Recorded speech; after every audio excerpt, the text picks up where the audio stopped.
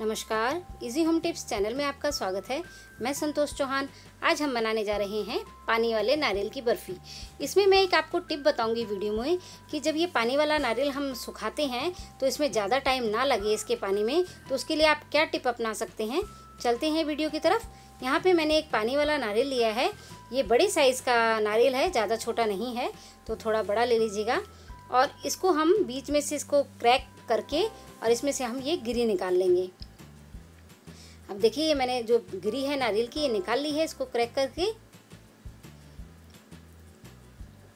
अब हम जो इसके ऊपर का जो छिलका है नारियल का, पानी वाले नारियल का, इसको हम ऐसे छील लेंगे, जैसा आप वीडियो में देख रहे हैं। इस तरह से, और ये बड़ी आसानी से छिल जाता है, क्योंकि पानी वाला सूखा नारियल है, और छोटे पीसीज में इसको काट के और इसको धो के एक बार, और फिर हम इसको ग्राइंड कर लेंगे। जब छोटे पीस में काट लेंगे तो धो लीजिएगा। अब देखिए ग्राइंड कर लिया है, इसको एक बोल में हम निकाल लेते हैं। ये पानी वाले जो नारियल की बर्फ़ी है, खाने में बहुत ही टेस्टी लगती है। अब मैं यहाँ पे एक कप से थोड़ी कम है ये तो ये मलाई ले रही हूँ। तो मलाई में इसका टेस्ट थोड़ा ज़्यादा अच्छा आता है। बहुत से लोग मेरे से पूछते हैं, मलाई की जगह हम क्या यूज़ करें? तो ज़्यादातर घरों में मलाई तो होती ही है। तो मलाई यूज़ करेंगे तो ज़्यादा अच्छा है।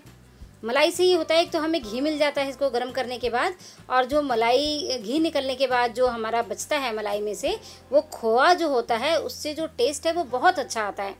तो मलाई लेंगे तो ज़्यादा अच्छा रहेगा। अब मैंने इसको दो तीन मिनट पकाया है फुल फ्लेम पर। और ये देख रहे हैं आप, घी इसका निकल गया है, और रबड़ी सी बन गई है। अब मैंने इसमें चीनी डाल दी है, चीनी आधा कप यूज़ की है मैंने अब चीनी थोड़ी जब हमारी मेल्ट हो गई है, उसके बाद हमने ये अपना जो पानी वाला नारियल है, इसको जो हमने ग्राइंड किया था, वो डाल दिया है। अब इसको अच्छी तरह से मिक्स कर देंगे। चीनी मेल्ट होने के बाद ही डालिएगा। और चीनी पहले ही डालिएगा, बुरादे से पहले ही। अब हमने ये मिक्स कर लिया है अच्छी तरह। अब ये जो मैं आधा कप जो मैं आपको टिप दे रही हूँ, ये आधा कप मैंने जो सूखे नारियल का चूरा आता है, जो खीर वगैरह में नारियल डलता है, गोला जिसे कहते हैं तो उसका मैंने ये चूरा डाला है। तो सूखे नारियल को मिक्स करने से क्या होता है कि आपको पानी सुखाने में ज़्यादा टाइम नहीं लगेगा, मुश्किल से दो तीन मिनट लगेंगे। अभी हमारी जो बर्फ़ी है बन तैयार हो गई है, इसका जो बैटर, अब हम इसको जमाने के लिए रख देंगे। अब जैसे प्लेट में आप वीडियो में देख रहे हैं, इस तरह से इसको कर लीजिएगा। हल्का सा प्लेट को ग्रीस कर लेना आप। अब इसको अच्छी तरह से प्रेस कर देंगे। और इसको जमने के लिए हम फ्रीज़र में एक घंटे के लिए रखेंगे।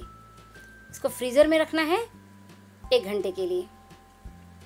अब एक घंटे बाद आप देख रहे हैं हमारी जो बर्फ़ी है, वो जम के तैयार है। अब हम इसको शेप दे देंगे और इसको चौकोर टुकड़ों में काट लेंगे। आप इसको मिठाई को ज़रूर बनाइएगा, ये खाने में बहुत स्वाद लगती है। आप देख रहे हैं ये? अब हम इसको नारियल का जो हमारा चूरा है, इसमें थोड़ा इसको लपेट लेंगे। तो ये देखने में बहुत अच्छी लगती है। इसको आप स्किप भी कर सकते हैं, पर ये देखने में थोड़ी सुंदर लगती है। इस तरह से अगर हम करते हैं तो। तो नारियल की बर्फ़ी हमारी बनके तैयार है। आप इस रेसिपी को ज़रूर ट्राई कीजिएगा और कैसी बनी हमेशा की तरह अपना फीडबैक दीजिएगा। और इसी तरह की मलाई से बनाई हुई रेसिपी मैं आगे और भी अपलोड करूँगी तो आप ज़रूर देखिएगा।